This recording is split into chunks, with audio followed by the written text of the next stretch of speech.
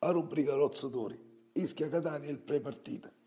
Il Catania tra partenze e nuovi arrivi comunque si schiererà con il classico 4-3-3 con Liverani in porta e al lato della difesa eh, Nunzella e Garuffo, al centro aggiranno Bergamelli e Pelegatti.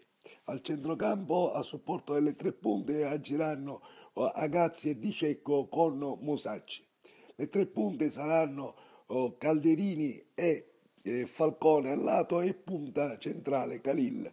L'Ischia si schiererà con il 4-4-2 molto mobile sulle fasce a supporto di due punte molto veloci e molto fastidiose che hanno dato già molti problemi alla squadra rossa-azzurra nella partita di andata. Si aspetta una bella partita molto combattuta appunto soprattutto sulle fasce. Dalle ore 14 ci sono io che vi racconterò la partita.